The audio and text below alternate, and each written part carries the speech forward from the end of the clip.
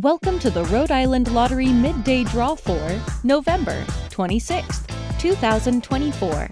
The winning numbers for the numbers game are 2, 3, 4, 0. Thank you for playing the Rhode Island Lottery. Have a nice day.